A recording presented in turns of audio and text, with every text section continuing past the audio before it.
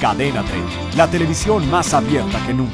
Esta tarde la selección femenil mexicana derrotó a su similar de Costa Rica en el último duelo de preparación rumbo al Mundial de Canadá 2015 que comenzará a disputarse en el próximo mes de junio en el cual se enfrentarán a Colombia, Inglaterra y Francia, esto en la primera ronda. Edgar Berrios nos presenta la información.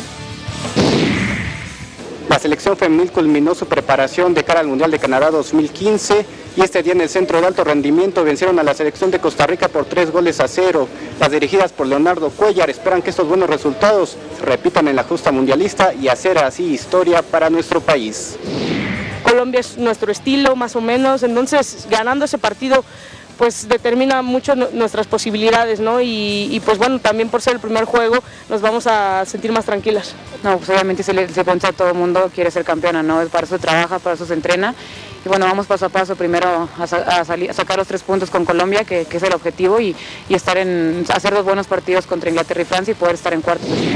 Por su parte, Leonardo Cuellar, técnico del combinado femenil, aseguró que todos en el plantel tienen claro el clasificarse a la siguiente ronda y poder sorprender a propios extraños, mostrando un gran desempeño en el campo de juego. Nuestro objetivo es este, pasar a la siguiente ronda y de ahí no conformarnos, sino buscar ser una agradable sorpresa a nivel mundial.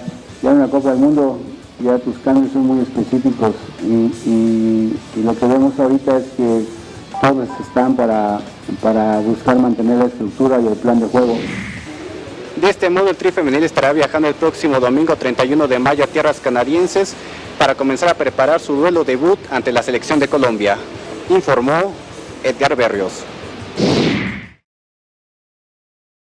Suscríbete a nuestro canal de YouTube y sigue toda la información de tu deporte y de tu equipo favorito. Empieza ahora dándole clic a estos videos.